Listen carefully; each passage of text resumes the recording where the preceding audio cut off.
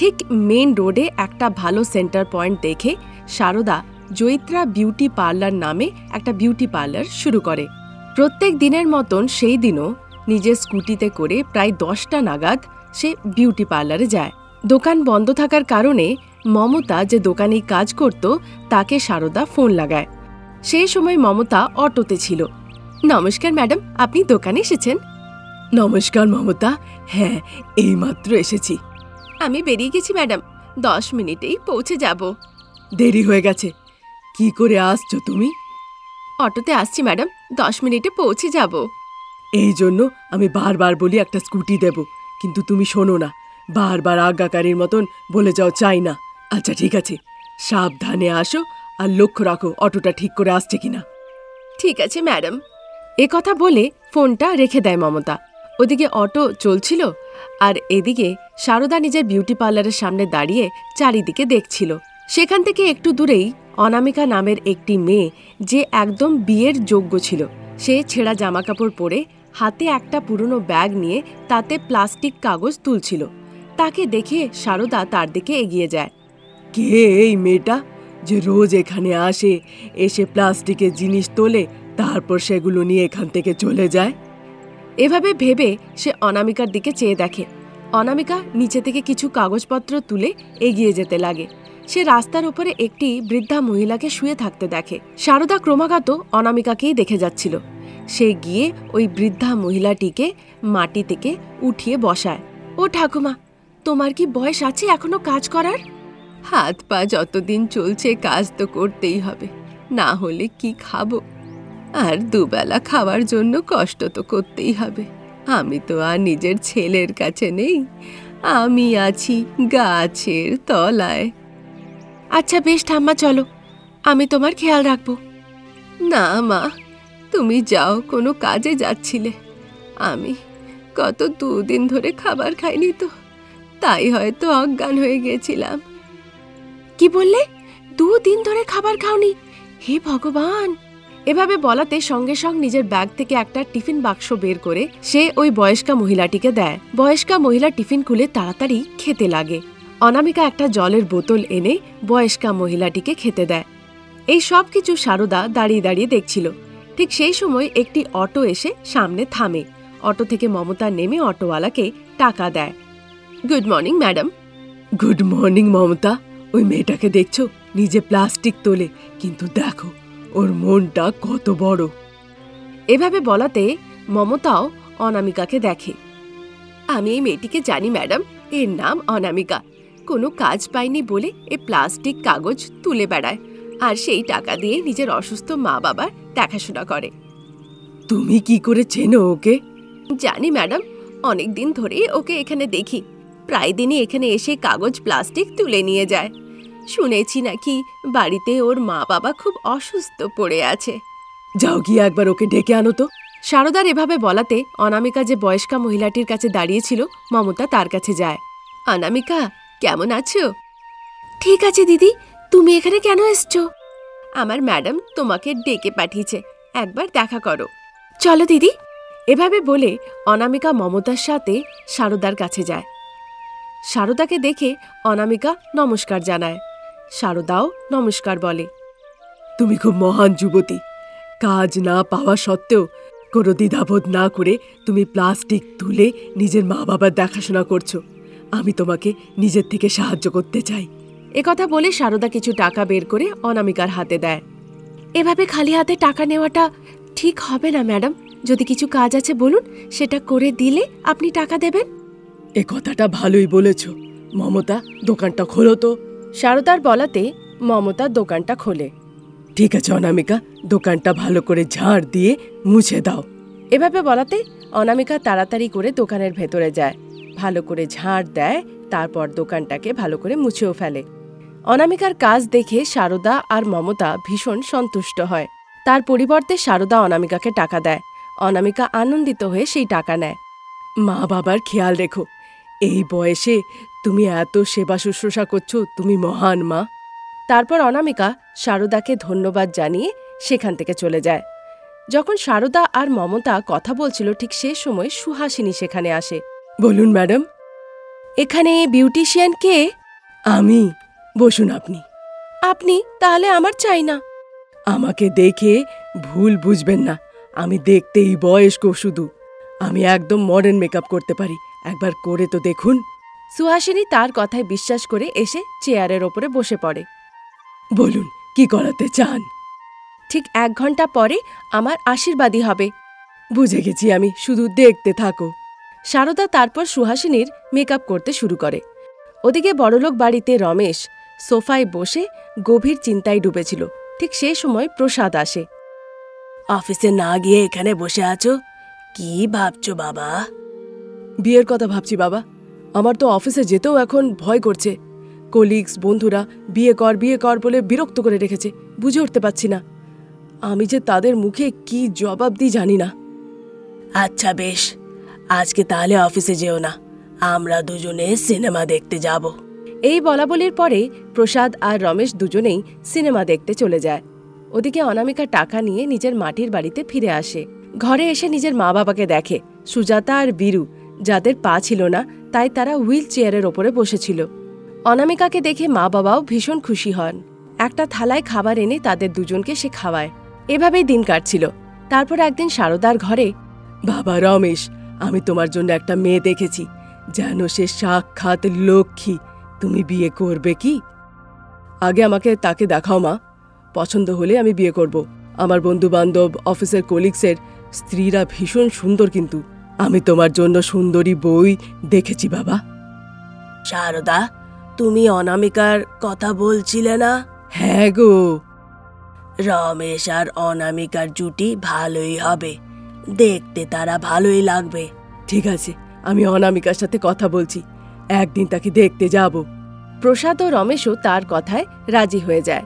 সারদা নিজের বিউটি পার্লারে যায়। সে দোকানের মধ্যে মমতার সাথে কথা বলছিলই ঠিক সেই সময় অনামিকা রাস্তা দিয়ে পেরিয়ে যায়। মমতাকে পাঠিয়ে সারদা অনামিকাকে দোকানে নিয়ে আসা করায়। সারদা নিজের ছেলের বিয়ে অনামিকার সাথে দিতে চায়, সে কথা সে খুলে বলে। শুনেই অনামিকা অবাক হয়ে যায়। তারপর অনামিকা সারদাকে বলে, ম্যাডাম, যদি আমার বিয়ে হয়ে যায়, তাহলে তো আমার মা বাবা অনাথ হয়ে যাবে। আমি তা হতে দেব না অনামিকা। ভরসা রাখো। এভাবে বলে সারদা অনামিকাকে স্কুটিতে বসিয়ে নিজের বড়লোক বাড়িতে নিয়ে আসে। সেখানে অনামিকাকে জোড়াতালি দিয়ে জামাকাপড় পরে থাকতে দেখে রমেশের যেন মুখ ভার হয়ে যায়। সারদা ব্যাপারটা লক্ষ্য করে। সে অনামিকাকে সঙ্গে করে নিয়ে ভেতরে চলে যায়। হলে বসে প্রসাদ রমেশকে বোঝাবার চেষ্টা করতে লাগে। ঘরের ভেতরে সারদা অনামিকার ভালো করে মেকআপ করে, তারপর একটা ভালো লেহেঙ্গা পরিয়ে তাকে রেডি করে দেয়। এসব কি হচ্ছে ম্যাডাম? চলো অনামিকা। সারদা অনামিকাকে সঙ্গে করে নিয়ে হলে আসে। অনামিকা দেখতে সাক্ষাৎ মা লক্ষ্মীর মতন লাগছিল।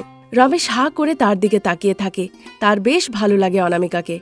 মা আমার অনামিকাকে ভালো লেগেছে। এই সব কিছু মেকআপ বাবা। কিন্তু অনামিকা যখন ঘরে থাকে এই সব কিছু সে লাগায় না। কিন্তু আমার ওই কালো অনামিকাকে পছন্দ নয়। এখন এসব কথা এখানে বলো না। আমরা তাদের বাড়িতে যাচ্ছি। তাদের পরিবার দেখার পরে তখন তুমি এসব বলবে। এখন চলো। চলো, বাবা। কথা বলে জোড়াতালি দেয়া জামাকাপড় নিয়ে তারা কারে চেপে অনামিকার বাড়িতে যায়। যেহেতু তাদের পা ছিল না, তাই সুজাতা আর বীরু হুইলচেয়ারে বসে বসেই সবাইকে নমস্কার করে। রমেশ কিছুই বুঝে উঠতে পারছিল না। বাবা রমেশ, এটাই অনামিকার জীবন।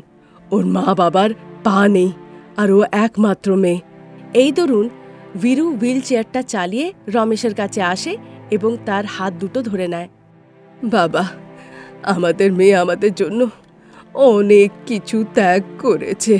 সব থেকে বড় নিজের খুশি। তুমি আমাদের মেয়েকে নিজের আপন করে নাও, তাকে বিয়ে করে নাও বলে সে কানতে লাগে। হ্যাঁ বাবা, আমরা চলে যাব।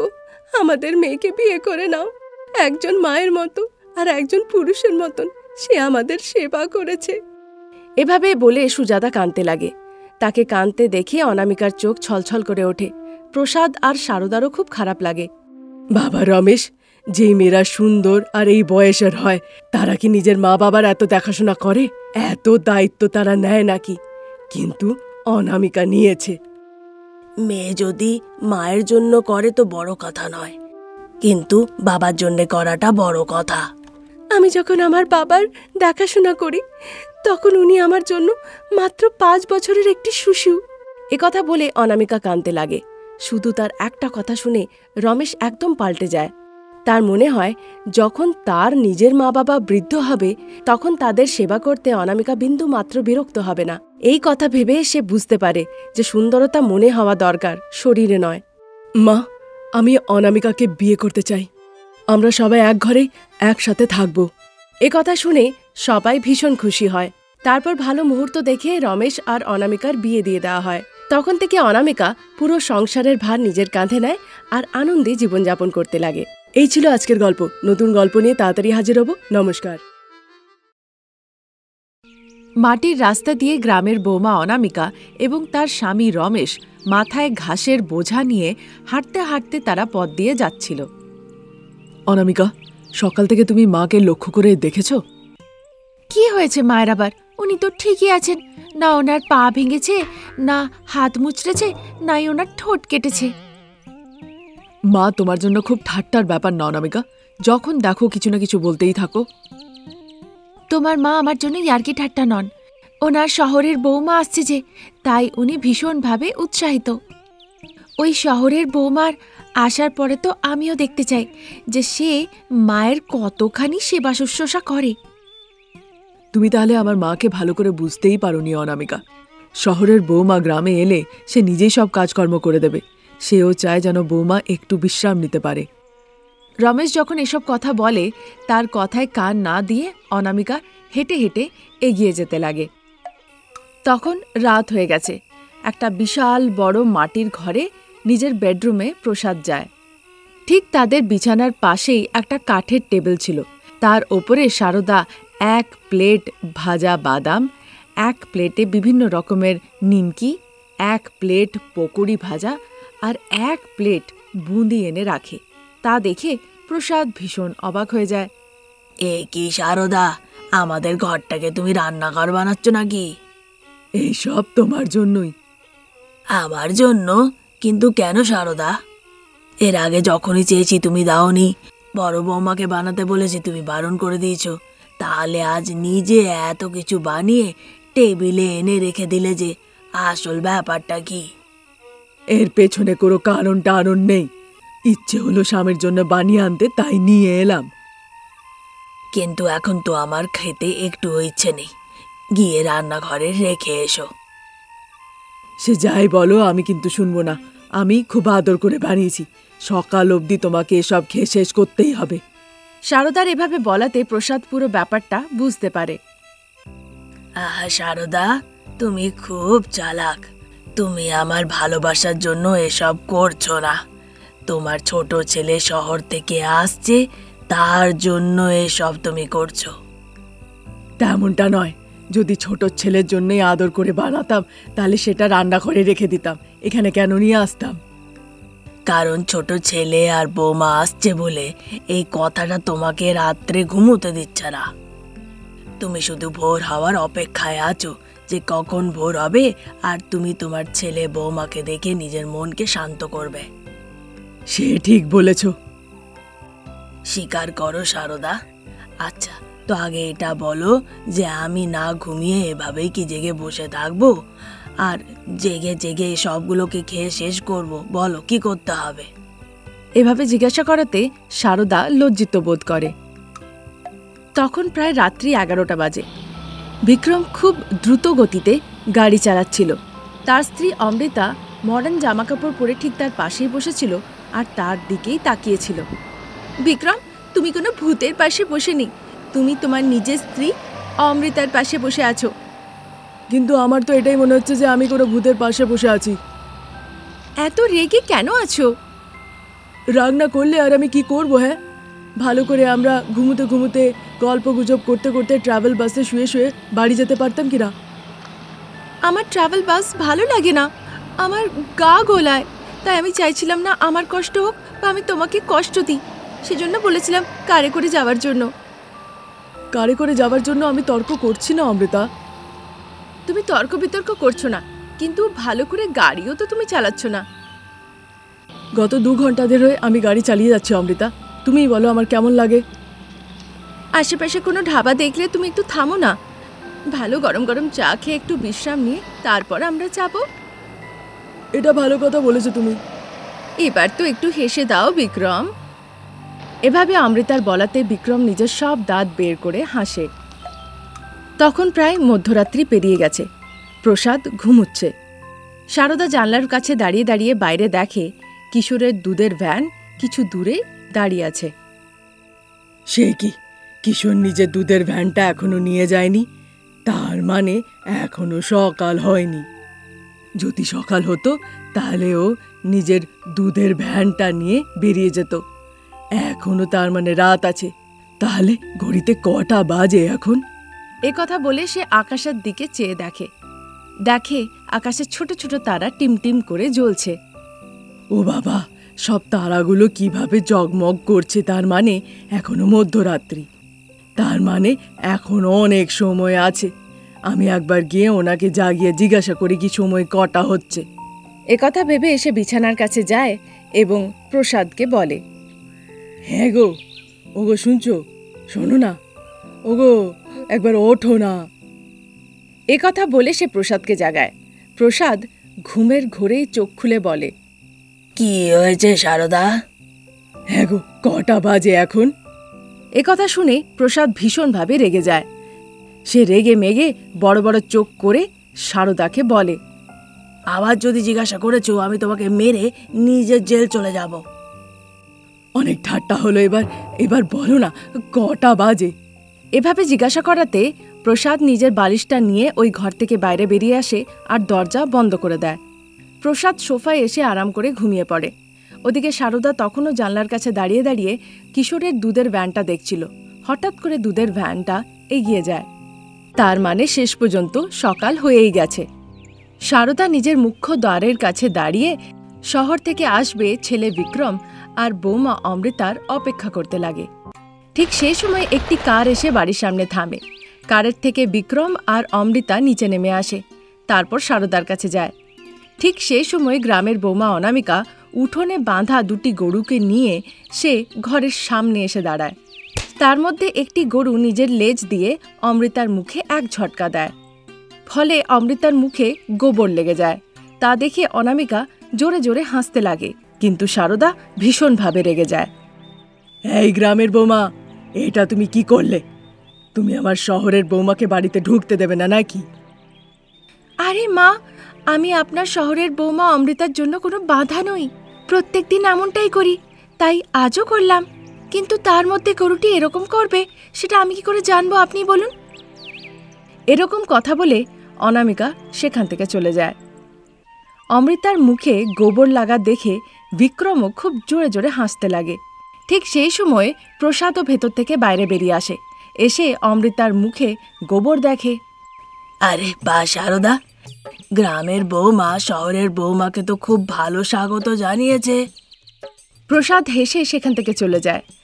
শহরের বৌমা অমৃতার মুখে গোবর লাগাছিল, সেই দুর্গন্ধ সে সহ্য করতে পারে না। ছি ছি, কি বাজে দুর্গন্ধ ছাড়ছে, আমাকে শাওয়ার নিতে হবে।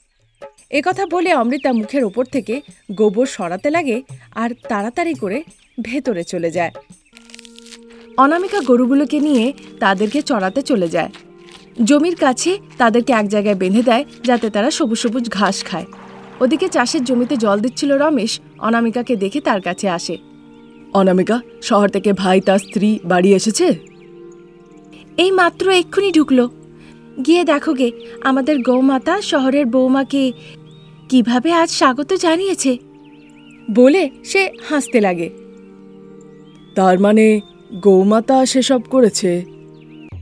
গৌমাতা নিজের লেজ দিয়ে অমৃতার মুখে গোবর লাগিয়ে দিয়েছে। তার লেজের মধ্যে গোবর ছিল আর সেটা ঘুরিয়ে অমৃতার মুখে। একথা বলে অনামিকা হাসতে লাগে। রমেশ কল্পনা করে অমৃতার মুখে গোবর আর ভেবে ভেবে সেও হাসতে লাগে। একদিন সারদা আর অনামিকার মধ্যে কিছু একটা তর্ক বিতর্ক চলছিল। ঠিক সে সময় প্রসাদ রমেশ বিক্রম এবং অমৃতা সেখানে আসে। কি হয়েছে সারদা? সে যাই করুক অনামিকা এসে শহরের বৌমাকে সব কাজ করতে বারণ করে। সে বলছিলই ততক্ষণে অমৃতা চ্যালেঞ্জ বলে ওঠে। আমাকে কি করতে হবে অনামিকা? বলো আমি করব। যা বলবে আমি তাই করে তোমাকে দেখাবো। অমৃতা তুমি এসব কাজ করতে পারবে না। তুমি গ্রামের বৌমা নও আমার বৌদির মতন। তাই তুমি এসব না করলেই ভালো হয়। সে যে যাই বলুক না কেন, আমি কারও কথাই শুনব না। বৌদি অনামিকা যা বলবি, আজ আমি তাই করব। এভাবে বলে তারপর সবাই পুকুরের দিকে যায়। একটি মোষকে নিয়ে তাকে ভালো করে স্নান করাতে। অনামিকা মোষটিকে খুব ভালো করে পরিষ্কার করে। পরিষ্কার করার দরুন মোষটিও এক জায়গায় দাঁড়িয়ে থাকে। কিন্তু যেই না অমৃতা যায় মোষটিকে স্নান করাতে, মোষটি নিজের লেজ দিয়ে একটা জোরে বাড়ি লাগায়। যেই না সে লেজের বাড়ি দেয়, শহরের বোমা অমৃতা সোজা গিয়ে জলে পড়ে। যেহেতু আসার পর থেকে দু চারবার অমৃতা মার খেয়েছে, ফলে অমৃতা এবার ভীষণ রেগে যায়। এবার অমৃতা রেগে ইংরেজিতে বকাবকি করে। ব্যাস, মোষটি নিজের শিংয়ের ওপরে অমৃতাকে বসিয়ে নেয় আর মাটির রাস্তা দিয়ে ছুটতে শুরু করে। অমৃতা ভয়ের চোটে খুব জোরে জোরে চিৎকার করতে লাগে। হেল্প হেল্প কেউ আছে আমায় বাঁচাও হেল্প এভাবে জোরে জোরে চিৎকার করাতে সারদা, প্রসাদ, বিক্রম, রমেশ সবাই খুব চিন্তিত হয়ে পড়ে। কিন্তু অনামিকা মুচি মুচি হাসে। ও মা, আপনার শহরের বৌমা যে এভাবেই চলে যাচ্ছে, ফিরে আসতে বলুন। হ্যাঁ বৌদি, অমৃতাকে বাঁচাও। ভয় পেও না বিক্রম, অমৃতার কিচ্ছু হবে না, সে তো আমাদেরই মোষ। একথা বলে অনামিকা একটা সিটি মারে। মোষটি সেখানেই দাঁড়িয়ে যায়। সে ফিরে এসে সবার সামনে অমৃতাকে নিচে নামিয়ে দেয়। অমৃতা হাত জোর করে মোষটিকে প্রণাম জানায়। সেদিন থেকে শাশুড়ি মা শারদা আর শহরের বৌমা অমৃতা অনামিকার পেছনে কখনো লাগেনি। তারা একসাথে ভালোভাবে থাকে আর আনন্দে জীবন কাটাতে লাগে।